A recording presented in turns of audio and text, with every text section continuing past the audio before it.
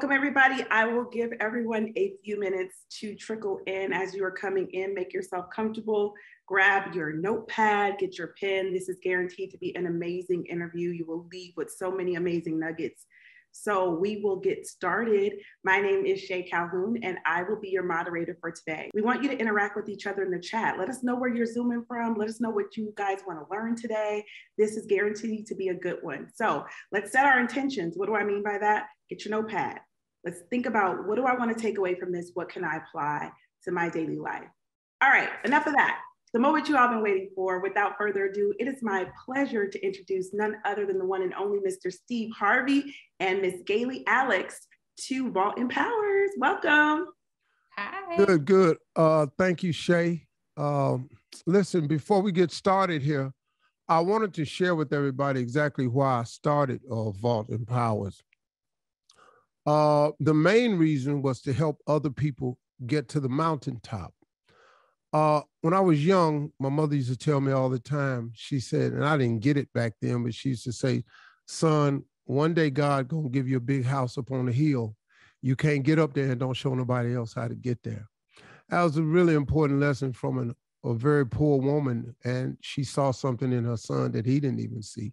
So I thank God for that. Uh, what Vault Empowers is for me is I'm not a very technical person. If you've seen me, you watched me, you followed my career, you'll you'll know that I'm not a very tech savvy person or a very technical person.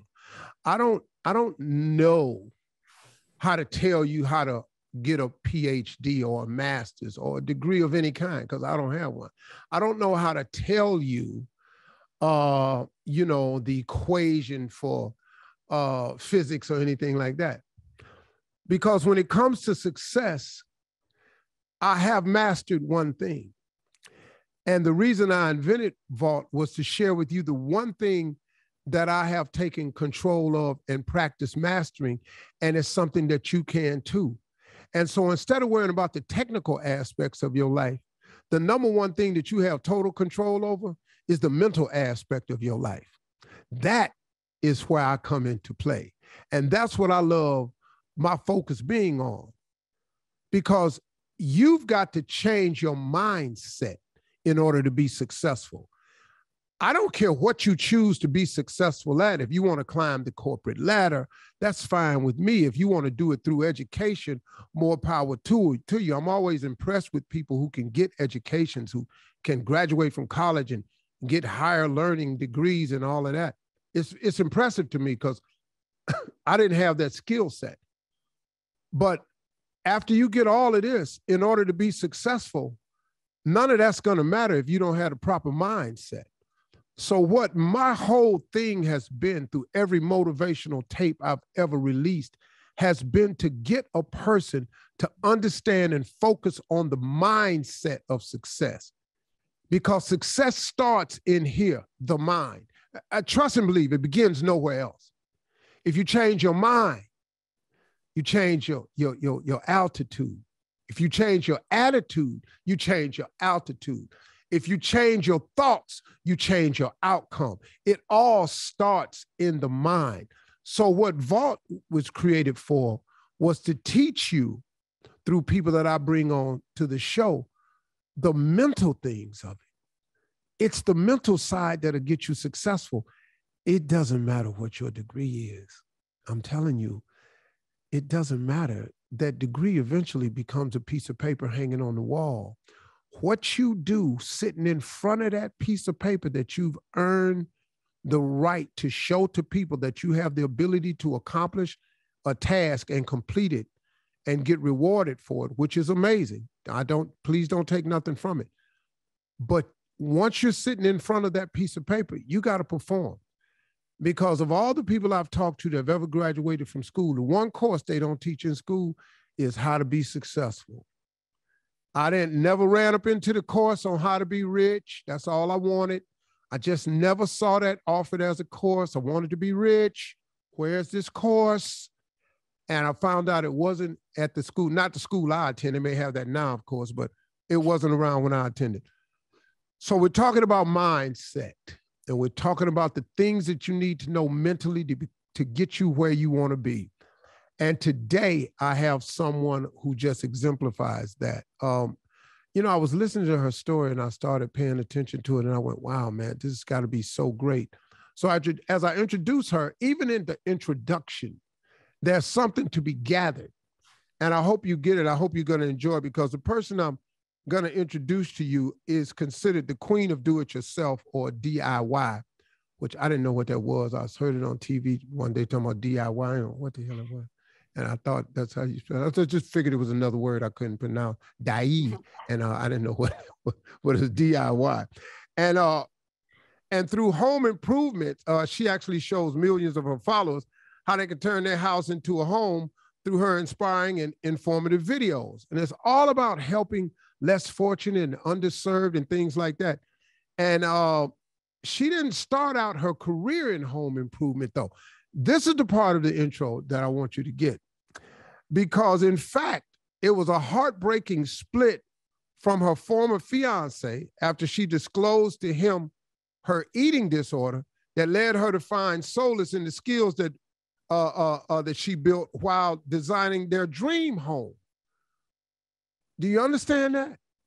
So who you I'm introducing you to uh, seemed to me, I don't know how she would describe it, but really came to life through a failure. And one of the valuable lessons I've learned is failure is a wonderful teacher. And it teaches you a lot about yourself. And this sister right here was really impressive to me. And I'm looking forward to diving into more of her story today. Ladies and gentlemen, please welcome Galey Alix. Galey, welcome to Vault. I am I am so honored to be here and, and speaking with you. So thank you so much for having me. And I cleared it with my HR person that this is perfectly fine to say you look absolutely gorgeous today. Thank you. Thank you. That makes me that makes me feel better about wearing a hat. So thank you. so, you know, let's get into the let's start from the very beginning. In your intro, I said that you ended up you were building a dream home and designing your dream home using your skills with your fiance. And something happened when you announced to him this eating disorder. Kind of walk us through this a little bit. Yeah, I, uh, I, I appreciate you not being afraid to ask the difficult questions. Um, I to clear the deck, I will say, you know, I, I take full ownership for for why we ended, and it's because um, while I did open up about something I was struggling with and asking for help, um, the you know the the weight of it was was my fault because I'd been hiding it during our relationship when it really got severe and i think that is you know a deeper dive in, into the issue with mental health right? Which is that mine stemmed from perfectionism. I always felt like i wasn't enough and i needed to be more and i was striving to be perfect which is an impossible task. It's a losing game. And when i fell in love with somebody who in my eyes was absolutely perfect i felt this immense proclivity to need to be perfect for him all the time. And that pressure started to make me sick. And that that sickness you know presented as an eating disorder. And i there was no way that opening up about that in our relationship um, would keep me looking perfect in his eyes right? So i was i was telling myself it would be okay and i'll get through it and i don't need to ask for help because it's not attractive to not be okay.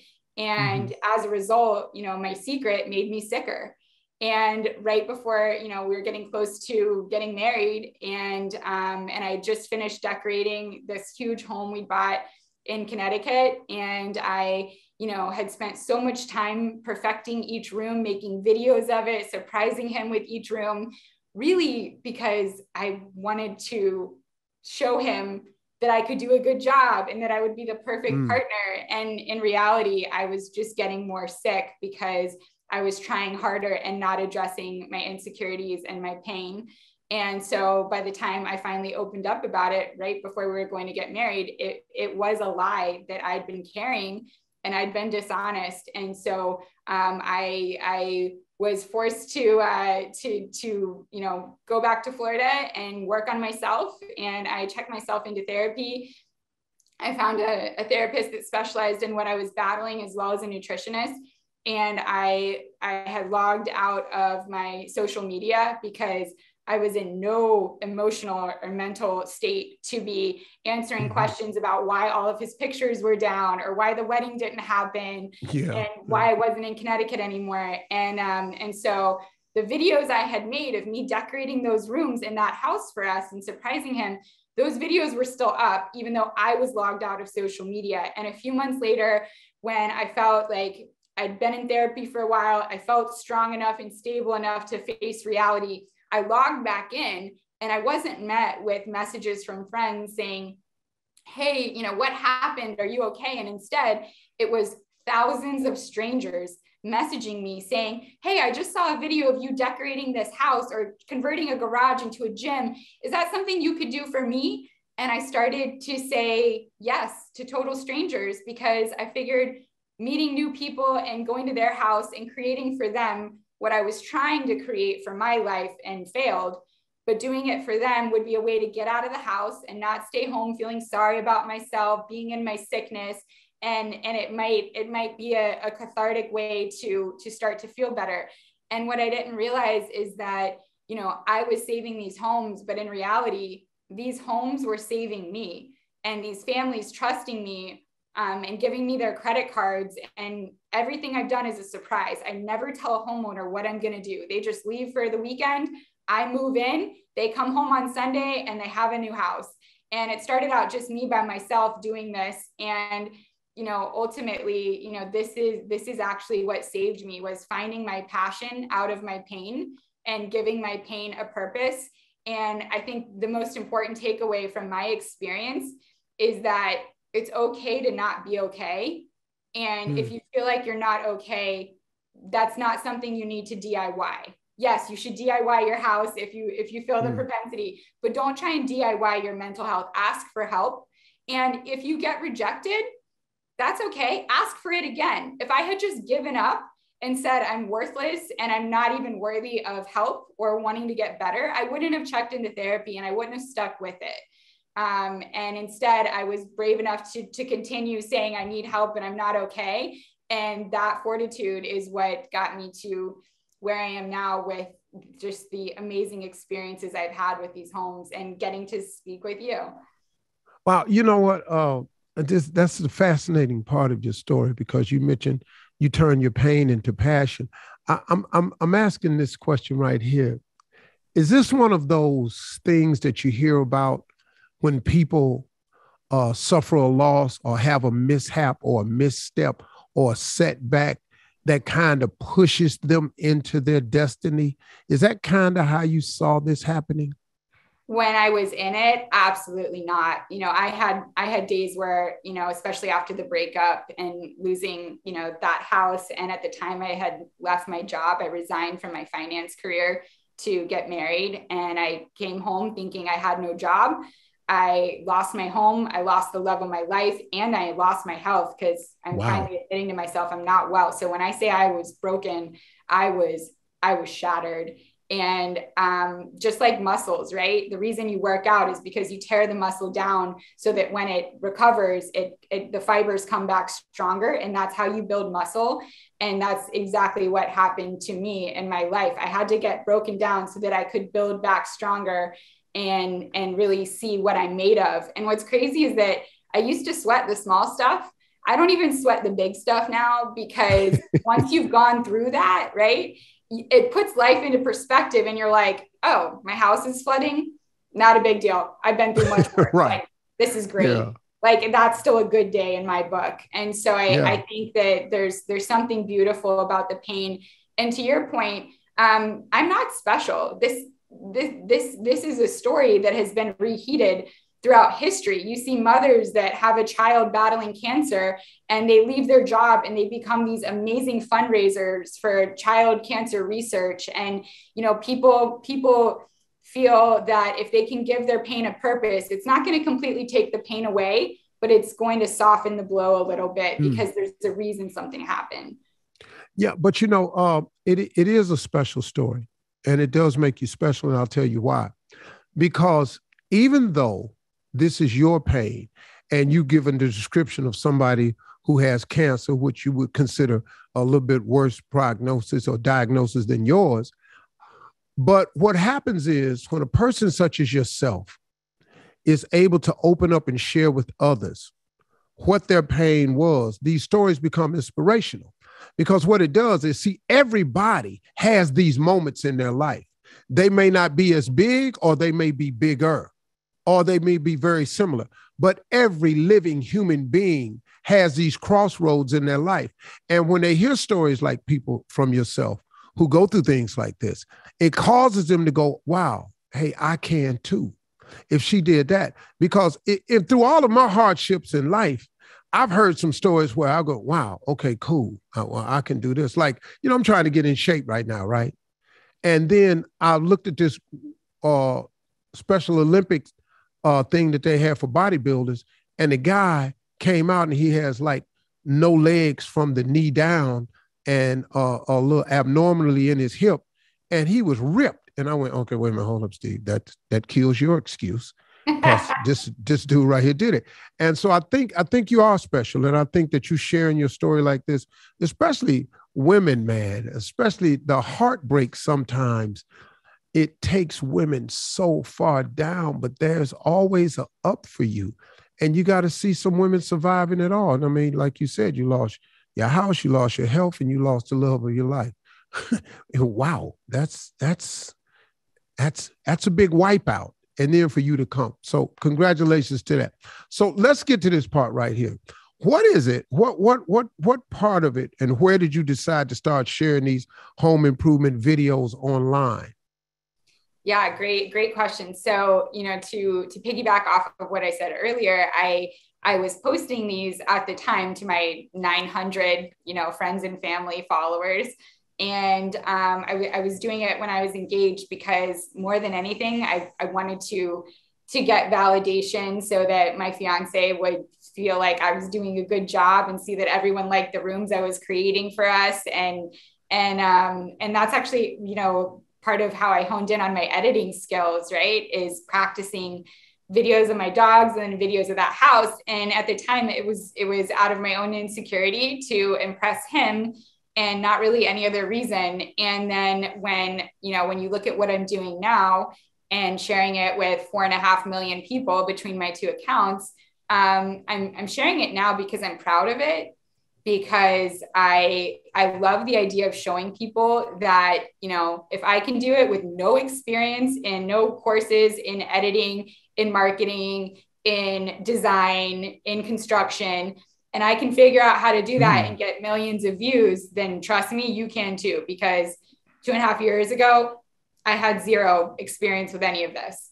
Um, so so now it's more about you know showing people that that if I can do it, I, I, promise you can too. And then also there's a there's an underpinning of mental health that I, I really want to normalize talking about it because part of why I got sicker was I didn't feel safe talking about it. I felt like I would look weak and I would um, I would look broken and and not perfect.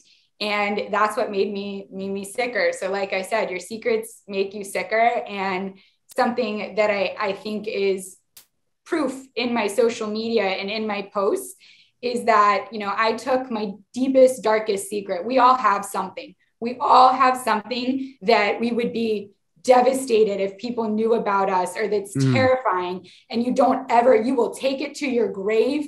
You don't want anyone to know. That was mine. I was struggling wow. so deep and it was so dark and it felt so imperfect and i did not want anyone to know including the person i was about to marry. So i kept this lie right? And it made me sicker. And now the thing that i was terrified of anyone in the world to know i have now made available to four and a half million people, right? And it's it took the yeah. power away from the secret and, yeah. and instead it empowered me to be okay with the fact that I'm human, I'm flawed. I've had some really dark days. I still have some dark moments, but as far as as far as where I am with, you know, mental health, I make it such a priority in my life and I make it so so transparent on my social media and in my videos so that people people know that it's okay to not be okay. And they also hopefully know that it's incredibly powerful and brave to ask for help. And if the person doesn't want to be there for you, that's okay. That's just not the person who's supposed to be there with you at that time. Ask again. Wow. Yeah, I mean that's it's it's uh it's inspiring to me because you said you have these some people have these dark secrets. Everybody has one that they have to take to their grave with them, or so to speak. And I'm glad you said that because I have about seven of them, and they're going to my grave, and I won't be digging them up no time soon. And let's pray to God that they stay there. I got seven of them. Hey, let me say this. But with all that you do, the videos and everything, what's even more impressive to me is you do this while you're holding down a full-time job. Now, with all this you're doing and you got a full-time job, how do you manage it all? This is probably one of the most common questions I get, aside from when are you leaving your day job? Um, but I think it comes down to this, you know, and, and I'm I'm I'm fortunate here because my brain um, at rest, like my baseline calm state of of mind is when I have multiple things happening at once. So if I'm laying on a beach in Tahiti, I am uncomfortable, I am anxious, my brain is spinning and I cannot sit still. For me, my my state of calm is is when I'm multitasking. And so that is hyper convenient if you're going to run multiple mm. businesses at once. So for example, when I am walking my dogs um, in the morning and late at night, I'm on the call with my uh, team who we're, we've got a, a, decor line and we're trying to figure out how to efficiently get containers from our manufacturer over to the US. And when I'm folding clothes, I'm listening to an economic market update and taking notes on a notepad right next to my dryer. Um, if I'm on a design project, which I only do on the weekends because it's my side job, if I'm on a design project, I'm coordinating everybody, I'm designing and, and doing the decor I'm also doing the construction and I'm also the videographer filming it, knowing that I'm going to edit it and create all these cool transitions afterwards. So, like, even on a project, I'm kind of wearing five hats just to get it all done. And that's how I'm the most productive. And it's also how I'm the mm. most calm. So, for me, it's wow. um it's my happy place is multitasking. So it's it's not that hard. That's great. Okay, let, let's okay, let's go here. We've got a lot of people on this call, a lot of young, aspiring entrepreneurs, a lot of people who are entrepreneurs. What advice do you have for that person who's trying to uh, build a purpose filled and a profitable business from the ground up? What would you say to this person? I'd say there's a, a huge jump between a entrepreneur and an entrepreneur. And a entrepreneur is somebody that has all these dreams and they want to accomplish all these things, but they don't want to do the work. An entrepreneur is somebody who says, like I'm I'm going in a 100%. I'm I'm going to put in the time, I'm to put in the energy, I'm to work the extra hours. Sometimes I get criticized on my social media for, you know, I don't know, maybe maybe sensationalizing, you know, burning out or working too hard or working late hours and I I I get frustrated with that because um, my intention is to show people that when you're doing something that you're passionate about, it doesn't feel like you're overworked or you're tired. I wake up hours before my alarm clock goes off on these projects. I just want to get back there. I'm so excited.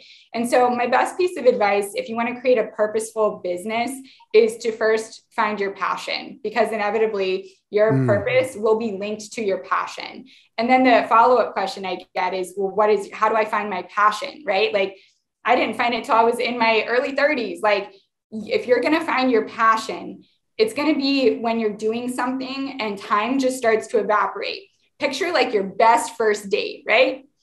Imagine being on your best first date. You get there at 7 p.m., you sit down at the restaurant, and all of a sudden the lights are dimming and they say it's time to leave because it's 11:30. And you cannot believe four and a half hours just passed because you were yeah. so enraptured in this person and what you were talking about and all the butterflies you're feeling. Like that's because you're doing something that you're passionate about, right? You're falling in love. The same thing goes for business. Find something, a hobby. It could be playing with dogs, playing guitar, helping the homeless, whatever it is that time seems to just disappear. That's probably linked to your passion, and that guaranteed is linked to your purpose. And I mm. promise you, your purpose on this earth is not to become rich. It is not to make money. If that is if that is your only purpose to be here, mm. you will not be successful. It's great to make money. And I guarantee you, if you find your passion and you go hard in the paint and really mm. push yourself to execute on however to make it profitable, the money will be there more than you ever mm. expected. But you have to you have to find your passion first. That's true. Okay, we have uh we're gonna move to our moderator now. She has a series of questions, I believe. Shay.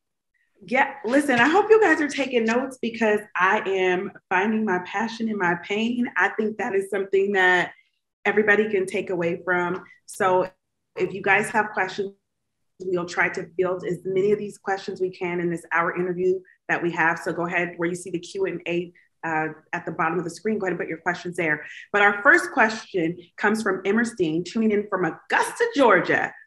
All right, the question is What do you feel is the best way to launch a social media campaign on a shoestring budget? Hiring a social, social media marketer can be expensive. I've been trying to do it myself, but with very little success. I'm not tech savvy and I just don't know where to start.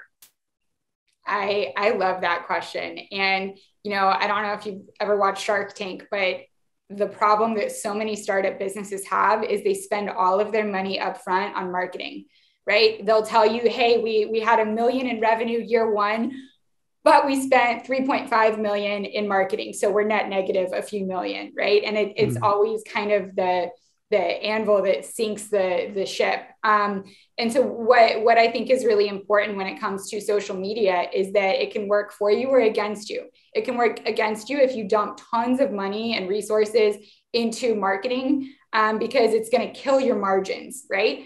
So if you can find a way to DIY which Steve now knows what that means, do it yourself, uh, then then what'll what'll happen is you just you just you know crushed it with your margins because take take what's probably 80% of your cost out of it. And now that's mm-hmm. income back in your pocket. But the problem is like like to her point she doesn't feel tech savvy and she wants to hire somebody but it's expensive why not why not invest in yourself right it's kind of like that you can bring a man a meal and he'll eat for one night or you can teach him to fish and he'll eat for forever why don't mm. you just hire that social media person or a videographer for a couple hours to teach you how to edit, how to use Splice or mm. Final Cut Pro or iMovie. Help them teach you. So you're investing in yourself, right? You're not investing in somebody else to do ads for you. You're investing in yourself to learn. And then you edit it yourself, you film it yourself. I built a following of four and a half million on an iPhone, right? Like all majority of the, the videos I filmed in the beginning, um, I edited just in the iMovie or the Splice app on my iPhone. I didn't even pay for software, much less editing courses. So, um, and my dad always says it takes a thousand hours of doing something to become an expert. So don't expect yourself to be creating these like, you know, incredible productions of reels for your first ads um, that you're posting on your media. Give it time, keep practicing, and then if if it can educate somebody or entertain them or inspire them, right? So you teach them something or you make them laugh or you motivate them. If you can hit one of those three or all three of those in a 30 or 60 second reel, its chances of going viral are much higher or on a TikTok. Mm. And then once they start to go viral, the followers come. So yeah. bet on yourself by investing in yourself instead of investing in somebody else to do it for you. See, what what she says makes a lot of sense because I often get asked that question about people about know, shoestring budget. I can't help you. I'm not on shoe, shoestring budget. By the time social media came out, I was I was here. So you know, I I never had to worry about a shoestring budget. But what I have learned about social media is, like she's talking about, okay, Galey doesn't have the following that Rihanna has, right? But what you, you got, you you got to understand something. Her followers, that four and a half million, is really trying to figure it out how to do uh do it yourself they're really trying to figure out how to improve their home maybe looks for their house right here you got to understand a lot of these celebrities you're getting caught up on this instagram with how many followers they got a lot of them a lot of them follows as kids you know there's just social media bandits they just live on social media don't get hung up on that number she has four and a half million followers. Even before that, you know how she got the four and a half million followers? When she had a thousand followers. And she put up a video, and like she said, it went viral. Viral means they take your video and they repost it. That don't mean you got to have the followers. They just reposted. It. And then eventually that led to some people following her. You can get it going without a ton of followers. Quit looking at what these celebrities have. Talking about, I don't have that. Rihanna made her money because she could sell her makeup to, to 117 million people. Okay, you don't have access to that.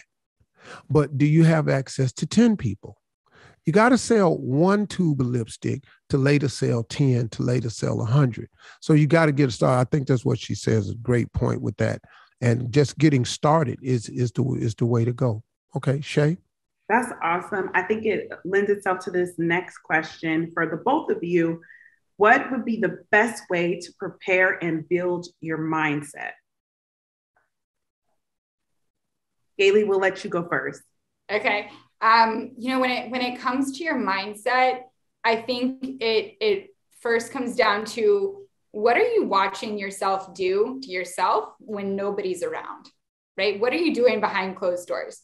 Are you mm. making sure that you're getting enough sleep if your body is telling you it's tired? Are you making sure that you know you're you're getting enough nutrients in your diet every day? Are you making sure that you're making space for things that help you recenter you and help you feel calm when you're anxious, right? Like whenever I feel my heart start to race and I know I'm having a lot of anxiety, I literally go into the yard and I play with my dogs and I just recenter and refocus and I put all my attention into them because it helps me get out of my headspace and, and brings me back to a calmer place. So, so I noticed that when I wasn't taking care of myself and I was in a really dark place, the stuff I was doing behind closed doors was not healthy right? I was staying up super late watching TV because my mind, like, I couldn't calm down and I, I wasn't getting rest. I was not eating well. And I was actually eating very poorly because of my disease. And I was, I was, I was doing the little things, even just simply like knowing we're in a pandemic and not even caring to wash my hands when I got home. Like like that would make me feel like I'm not taking good care of myself. And that puts you in an unhealthy mental frame of mind. But instead, like I'm watching myself when nobody's around do things to set me up for success. I'm betting on myself. I'm wanting myself to win. I'm doing things to keep me healthy. I'm doing things to keep me sane. I'm doing things to help me calm down when I feel things are intense. And that is giving me the strength and the confidence when I wake up in the morning that like I'm going to tackle whatever today throws at me because I'm prepared for it because I know I know I'm taking care of me first. Wow. Yeah, I think I think that's spot on with it too. Um in addition to that, if you want to prepare your mind, I always start with a couple of other things too, a few things. First of all, dreams come true everything starts in the mind. It usually begins with a dream or, or begins with your imagination. Those are very important pieces. You know, you know, Albert Einstein had a quote that said, imagination is everything. It's the preview to life's coming attractions. Whatever you dream and imagine, that's important, man. That's where it starts. And after you have a dream and imagination, you got to start having a belief system you got to understand and believe that these dreams are in your mind and this imagination is in your mind for a reason. It's put there. It's put there by your creator. You don't just wake up. You, you're not just imagining nothing like it's hocus pocus, poof out the sky. No, man. Your imagination, your creator places stuff in your imagination as a preview of a coming attraction he has for you. So once you start dreaming, you got to start believing in this stuff. And then the last thing I have for you is you have to feed your mind the right mindset. She she hit it right on the head. You got to care about what you eat. You got to care about what you put in your body. You got to care, man. You you can't be in shape and just eat cake. I can't. Now I got my son can do that because he's 24. You know, I used to eat cake all the time. I could, I stayed in great shape. I eat cake now. I look like cake. All I gotta do is eat it, and I look like cake. It's 65, fat boy. You fin- you eat, keep eating cake, gonna look like cake. So, you know, you gotta feed your mind. I'm gonna give you two books. I do this all the time, but I can't say it enough. The two books that's an absolute must for feeding your mind. They're old books. They're never going to go out of style. They are the beginning. Two books that's a must. Number one, The Power of Positive Thinking by Norman Vincent Peale. Everybody should read this book. The second book is The Magic of Thinking Big by David Schwartz. That's the other book. Those two books changed my life, and I read both of those books in my 20s. And they did what they needed to do. It made me start understanding that there was power in thinking positive. There's power in that, man. That's all you need to know. And you can control your thoughts. And secondly, the magic of thinking big. That book right there, I, it just start. It just made me think. Because look, it takes no more brain cell energy to have a small thought than it does a big thought. See, Volkswagen, Rolls Royce, same amount of energy. I didn't have to grunt to say Rolls Royce. I could just say it. Now you can say Volkswagen or you can say Rolls Royce. Choice is yours. But what happens is there's magic in thinking big. Those two books, The Power of Positive Thinking by Norman Vincent Peale and the uh, Magic, The Magic of Thinking Big by David Schwartz, two must reads to feed the mind to condition them. We dropped that in the chat. So for those of you that are trying to drop notes, I see in the chat you're asking what were the books again. Um, we did drop that in the chat for you guys to see. Um, this is excellent. I know that Mr. Harvey has an amazing backstory of, of, of living in his car. And Galey, you talked a lot about um, some of the hardships you faced in, in your relationship and loss of job. So we have a great question kind of centered around that. What are some tips for getting back into it after a setback? Galey, over to you first. Yeah. So so if if every day you didn't feel great, you decided not to go to work, you'd probably not be successful at anything, right? so everybody that's going to work every day and they're killing it, I guarantee you there's days that they get up and go to work and they don't feel good. They don't feel like they can kill it.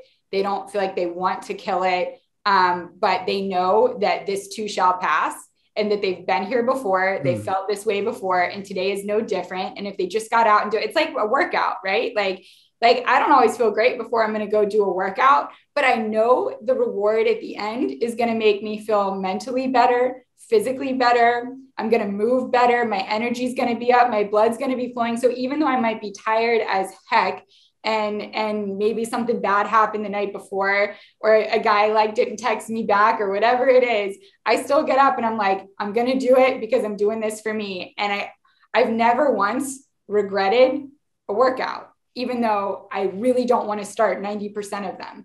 So you just mm. have to you have mm. to play the long game and you have to know that in the end it's going to be worth it and that all these other people around you hustling trying to make their dreams their reality and they're saying Rolls-Royce and not Volkswagen they're working on days they don't feel great and I use that mm. as motivation. Yeah. That's so you know what she just said something that really hit home The question is, how do you get back into it after a setback? You know what Galey said? This too shall pass. I can't tell you, man, I wish I had understood that factually as a younger person. Oh, I got it down pat now. It don't even bother me anymore. I've practiced it so many times. This too shall pass. You can't think of anything that you've ever gone through or currently going through that you haven't gotten through. Name it. What? What? No matter how bad it seemed at that time, you've gotten through it or you're currently going through it right now. And guess what? This too shall pass.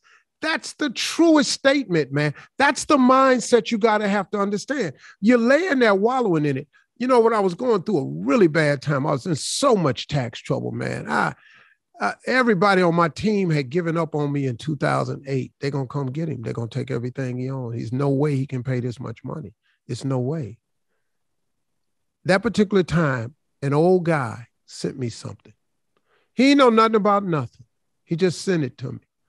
He said, Man, I saw you one day. You look a little broken down. I just wanted to send you something. He mailed it to my house. It was a plaque.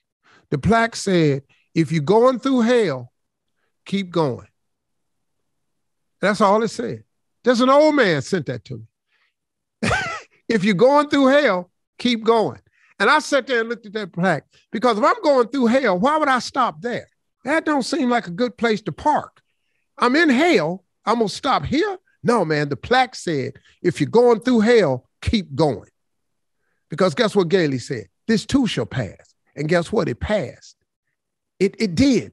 And as daunting as I felt at that particular time, it gets that way. What people do when they get into a setback, they think it's permanent. What's permanent? What's permanent? You know, look, man, unless you get convicted, life with no parole. It, but even I can tell you, I know men who have been convicted with life with no parole and have turned their life into something productive. You know what they do? They take young inmates that come in there so that they don't make the same mistake they made and they work on them for when they get out. They created a purpose for their life. And I'm telling you, man, this too shall pass. I've had inmates tell me who he said, listen, me going to prison was the best thing ever happened to me. And you're sitting there going, what? He said, man, if I'd have stayed out in the streets, I'd have been dead at least I'm here, I'm living, and I got life. Y- y'all, we we're making some situations. Galey's situation. I mean, look, you you think about that. In one fell swoop, you lose your dream house, you lose your health, and the man of your dreams. Let's let's let's let's go over that. Okay. Guess what she said? This too shall pass. That's an amazing thing. That's the mindset you need when you get into a setback and how do you how do you get back into it uh, so because when you're going through hell just keep going that ain't the place to park now. It's not. It's hot down there. There are no filling stations. They don't have bottled water in hell. Do not park there everybody air conditioner out. It's just why we stop here. You know you know so that's gonna I, be a a shirt don't park in hell. What? What? What you doing? You know. Uh, so okay.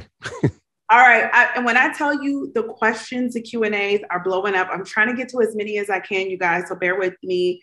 We have a question that I think anybody that gets elevated to a level of recognition, celebrity status, you do end up getting some of the unfavorable messages. So the question is, what helps you be so kind when replying to mean messages? Galey, how are you still so sweet and wonderful and kind when you get such mean messages?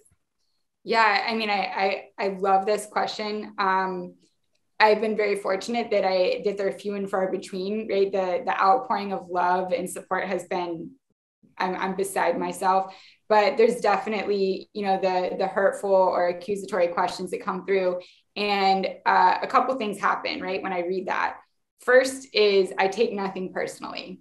I take nothing personally because this person doesn't know me personally. So if you're being bullied by somebody who doesn't know you, then there is zero merit to put into what they're saying. And then that allows you to step back and take yourself out of the situation because it doesn't actually have anything to do with you or what you posted or what they're upset with you for. And instead, you have to think, this person is putting so much negative energy into attacking a stranger can you imagine how much they must be attacking themselves first to be in a spot that that's a good use of their energy right? Like they are probably coming at themselves 10 times harder than they are coming at you. So showing them grace and kindness is a privilege because for whatever reason they singled you out for energy albeit negative but they singled you out. So you're somebody to them even though you don't know them and and they're exerting energy towards you. And if you have an opportunity to be kind back why would you not? And something that, mm. that does bother me is when people you know see see my responses and that i'm being kind when they're being mean and they're like yeah kill him with kindness. I i, I get frustrated with that because i am in no me no way trying to kill them with anything because then that's actually like false uh, positive that I'm then putting back because I'm actually trying to take them down by being kind. And I don't, I don't believe in that. I think you should revive them with kindness. by showing them kindness when they're maybe not showing you that maybe helps them understand that that you know they're they're they're still being met with kindness and maybe that helps revive them into changing how they think or maybe how they're attacking themselves that day and i also think that people who have been through some really dark stuff are the people that have more depth and more empathy and more more of the ability to feel when other people are hurting because we all know hurt people hurt people and mm. unhealed people take everything personally healed people take nothing personally right mm. So if somebody's taking something personally, you know they are not healed and you mm. want to you want to have empathy for whatever they're going through because everybody's fighting something. So that's that's that's my thought process there. You know, man, I would uh wow. I just learned something from uh Kaylee right here because me, I want to slide in your DM and ask you to meet me face to face. That's how I want to handle it. And then we'll see how you are when we up on each other. That's, that's real. You know, I'm that other Christian, you know what I mean? The one that's not really all, you know what I'm saying? You know, um, and so it's sort of funny, man. Uh, what she's saying is absolutely true. I tell you something that happened when uh, Marjorie and I uh, first got married. We were getting just beat up on the internet, man. I mean, man, we were taking a beating every day. The Enquirer magazine was writing a lie about us. There's blogs was coming out with a lie, false stories was coming out about a lie. And we started to go back and file lawsuits, and we hired this lawyer named, I can't say his whole name, but his first name was Tony. And we were telling him how frustrated we are and we sick all these lies and we sick of these bloggers and blah blah blah blah blah blah blah blah blah blah blah and he looked at us, and we got through talking we talked for 30 minutes we had presented all this stuff and he looked at us and he says let me ask you a question who who name some of your friends and we named them you know friends we got some of our friends are famous couples you know denzel pauletta tanya uh, Samuel you know, Magic, Cookie, you know, we know, we know some, because we, we, we're in that age group, you know what I mean? So, you know, we weren't flexing. We just, he asked our friends. And then he says, name some of your business people. And I named them. And he said, let me ask you something, man. Do any of those people, you know, do any of those people blog? And I went, no, man, they don't blog. He said, have any of those people called you about any of the blogs? I went, no. He said, you know why? Because they don't. And he taught me a very important lesson. He said, People who blog are not decision makers, they're not shakers and movers, and they're not power brokers. Your life, Steve Harvey, is to be a decision maker, a shaker and mover, and you are a power broker. Those people who blog don't do any of that. So, what power do they have in their life? Uh, he said, Man, have you gotten a call from any of your business people to cancel any of your businesses because of one of these blogs? I went, No. He said, Has anybody in the TV world said you can't come on TV anymore because we just read this? I said, No. He said, What? So you want you want me to sue who now? He said it's going to cost you hundreds of thousands of dollars for me to go find all these people he said, Can I assure you they have nothing? And so, what are we talking about? And I had to learn. And I, and see, I don't see, she has a, a, a site where she's helping people. You know, she answers questions on her blogs, you know, refers, gives them referrals and stuff like that. That's a, that's a great thing. I don't respond to anybody. I, I wish I could do like Beyonce. Beyonce post and she ain't got no comment section. feel how you want to feel. I'm, Beyonce knows, partner. She just posts. Feel how you want to feel.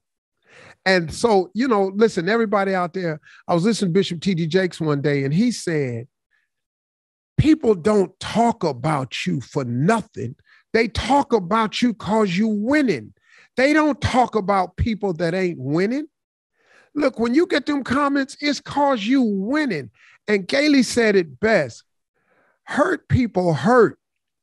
These people out here are hurting. So now they want to, that, that that's not your business. And then one last thing, Joel Osteen taught me something. I always listen to a lot of spiritual cats because I need that, you know, to help calm down the dude that wants to slide in your DM and ask you to meet me face to face. I have to constantly pray for that dude right there because he he ain't rap right. You know, that's why I, that old Steve Harvey is still very much alive. You know how people say they got saved and they got washed white as snow. I didn't I didn't get that version. I didn't I got rinsed off. I didn't get the wash white as snow saved and born again. I just got rinsed off. And so the dirt that's still on me makes me want to. So I have to pray for this guy. Joel Osteen said, people's opinion of you is none of your business, nor should you make it yours. And I went, I'll be doggone. It's really not. What you think of me is none of my business. And Galey said it best. They don't even know me. Most people don't even know you. Know, you know, you're gonna get some hurtful comments from some family and from friends. That's gonna come. But the rest, most people don't even know you and and so you know th- those are the things that I learned, and I agree with her 100 percent about the way handle it the way Galey said, do it, folks. That's the best way to do it. Don't take the Steve Harvey approach. Don't don't ask to meet face to face because then I got bodyguards and it's not going to work out. That's when the, Go ahead, the HR and me will say, "Yes, please do not do that." please do not. No, but yeah, I hear you because sometimes you know you, you don't. The old you still there. Um, yeah. We have a good question. I'm going to call this question, it's our last question. This hour goes so fast, but I want to respect um, our guest time. Um, I'm going to call this the Mama I Made It moment. So, what is the first thing you either did for yourself or bought for yourself in your new success? What's the first thing you did or bought? So, um, so this is this is truly a, a, mama i made it moment. And i'm going to regress for a second. You just said that time went by so fast. It's crazy how fast it was. That's because we're doing something that we're passionate about. You see how yeah. that works right? If you're working things like you're watching that clock tick because it's just going by. You're counting the minutes, right? yeah. You're doing what you love, right? Which I love meeting new people. I love talking about this stuff. I like trying to add value yeah. and sharing our pain. Like that is what we're passionate about. And it's why it, it goes so fast. So I digress. So, um, you know, my my mama I made it moment is actually not anything that I bought. You know, I've been fortunate enough in my finance career to to have been you know able to to buy things that that i want um, that were previously out of reach. So i, I kind of had already made it in a, a financial comfort level um, before starting this. And also i you know i haven't charged for for the majority of the first projects i did. Um, so it was purely passion that was driving this.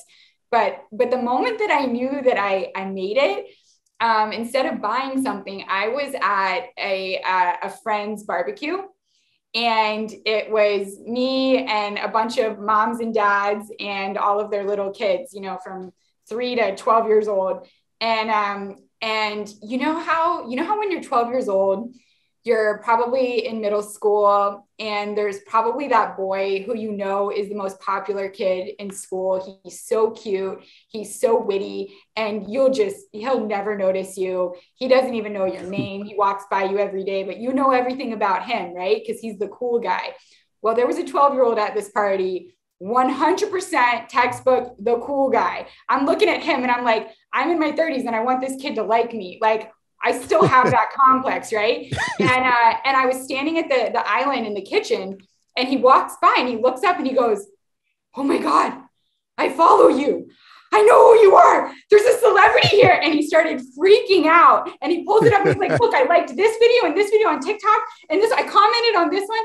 And all of a sudden, I was like, The cool 12 year old knows my name. I made it. That's crazy you know, uh, it's true story. That, that was when I knew I made it. That's really cool. My story is going to be very different because when I made it, there was no social media. so I didn't have that. My mama, I made it moment was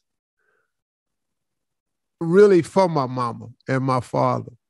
When I was 25 years old, I borrowed $5,000 from my father to buy a carpet cleaning machine to start help with my carpet cleaning business.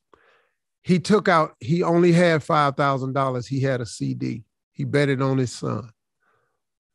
My business crashed. I lost the carpet cleaning company, but I wasn't able to pay off the loan. So they took my father had put up a $5,000 CD and that was all he had.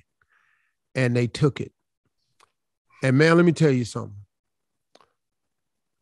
That was one of the most crushing moments of my life.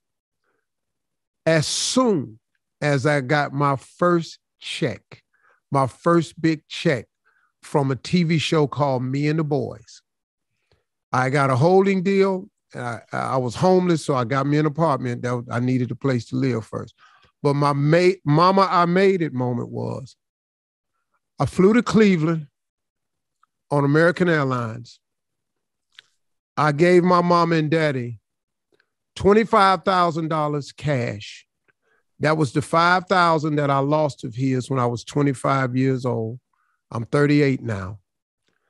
I gave him $25,000 cash and then I paid off their house. And paying off the house wasn't that big a deal. They only they bought the house for $26,000. By the time I had made it, they owed 14. So paying off it wasn't that big a deal. It was a huge moment for them. So it was about about 40,000 total about and I uh, paid their house off and gave them $25,000. And my mother sat there and cried and she told my daddy to get on the plane and go back out to LA and see what that boy doing because he must be out there selling drugs because ain't nobody paying him this kind of money to tell no jokes. Slick, go out there and talk to your son so he can stop doing what he doing. But take this money and put it in the bank and pay that house off like that boy said. That was my, and I kid you not, that's a true story. She wanted to make sure I wasn't out there dealing, but like, she also paid that house off and took that 25 and put it in the bank before I got arrested. That's what she thought. My mother did not understand the money I was making from television. It it just didn't click with her. And a true story, my father flew flew back to LA with me to see what I was doing. And that's when I first took him on the set of me and the boys and introduced him to everybody. And they couldn't believe it. Because you know, I'd gotten a check before the show aired on TV. I told him I was going to be a TV star. Mm-hmm, yeah, and so that was my mama. I made it moment. I've never really told that story before because uh, I don't know. I did. I, you know, I, I had a different type of past, so I never really. My mother never thought I was a criminal of any kind, but that kind of money. The only people had that kind of money in our neighborhood was criminals. So that's what she thought of me. So that was Mama, I made it moment. Incredible. I love that story. I, I, was gonna say all these years I've never heard that story. See, you get the first exclusive here on Vault Empowers. Well, Galey did that to me. You know, Galey, I, am telling you, Galey, you've really been for me such a cool thing because you know when I first heard about this and and and you losing your health in your house and your fiance. See, when you said it in that one sentence that's major, man. And it, it's really good for women because so many women are tied. Women keep tying their success to a man. And even though you enveloped it and made it and bought it your own, still, you know, all in all, you know, you would think after you share something with somebody you love that they'd hang in there with you. You know, you you would think that, you know, I love you. We're gonna take these vows forever, rich or poor, sickness and health. So you figure, hey, I'm gonna marry this guy. Let me tell him about this sickness. Well, oh no, eh, I'm out. And that's kind of crazy, man. And so for a lot of women who are on here who have to come to the realize that oftentimes the breakup is the blessing.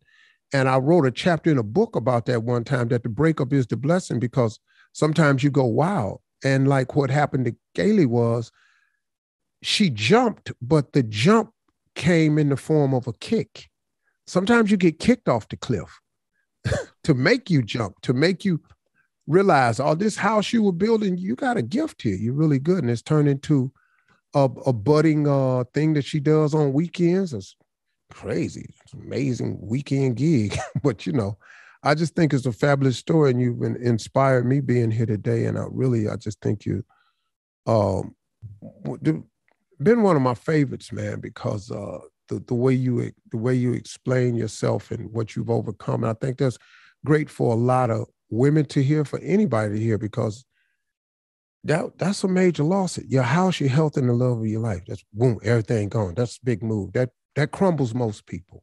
So thank you can for. I, can, uh, I, can I change? Can I change my earlier answer about the "Mama, I made it" moment? It was when Steve yeah. Harvey said I was one of his favorites. Yeah. That's my "Mama, I made it" moment. For sure, I'm calling my mama right now.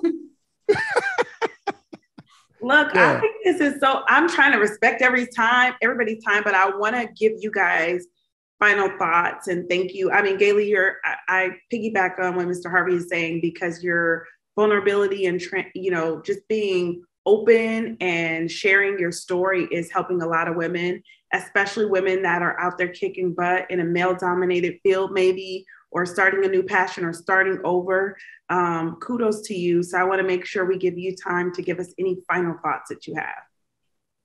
Yeah, I, I, I will I will first just say how grateful I am for for you all you all having me here and giving me the the time and the energy and um, and for everybody who joined on here. If you are watching this right now and you're here all the way till the end, it's for a reason. There was something on here that you were supposed to hear there's something on here that maybe you were supposed to feel or realize and and the fact alone that you're on here trying to hear more about you know how to build a business or overcome something um, that is you investing in yourself right that's you putting time and energy into educating or motivating you're putting yourself in the exact situation to win just by being here so I I love that. I appreciate that, and I'm I'm excited that that there's so many people that are investing in themselves in that way. And um and the last thing I'll I'll, I'll close by saying is that if you don't bet on yourself, why should anybody else? Mm. You have to bet on yourself in order for anyone else to want to. Can you imagine going into a job interview and you're like, I really want them to hire me. I really want to be good at this job, but I don't think I'm going to be that great and I don't think that I deserve to be hired, but I'm going to put myself out there anyway. You're bringing that energy into the room. You have to say, I know who I am.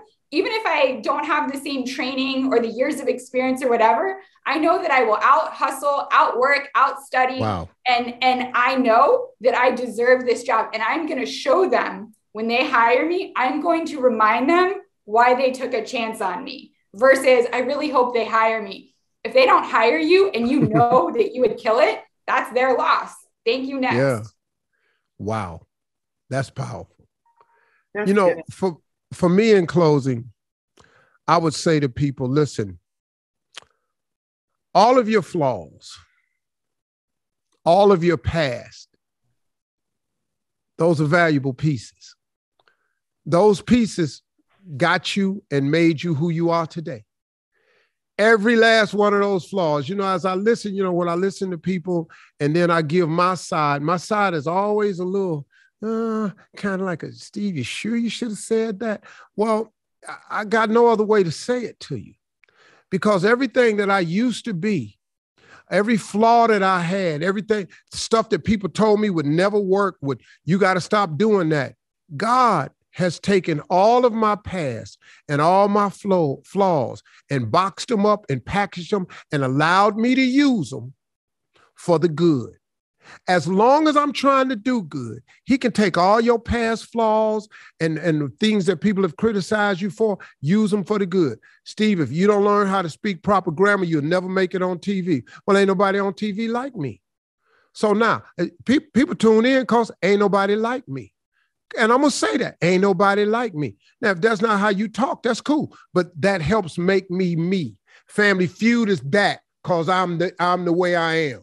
I'm not fitting to change that for nobody because the God I serve takes my flaws and my past and who I am and allows me to use it today for the good. God know I don't take a whole lot of mess off people. He know that. God know I'm not finna turn the other cheek. So don't come over here smacking me. I'm not that Christian. I'm not that dude. So now, now that we got that out the way, let let's deal from there. And th- that toughness in me has allowed me to to to withstand my setbacks and and and my critics and all my enemies. And and and and and I've learned that all of my past and all of my flaws they are fine. So y'all quit trying to quit trying to be perfect uh, because Galey said, You're not. There ain't no perfect. You're not to be perfect. Stop. Stop trying. The Bible says there's none perfect. No, not one. Not a single one. So I gave up on perfection a long time ago. Let me take the way I am and let God use it to his glory and to his will and see what we see what we come up with.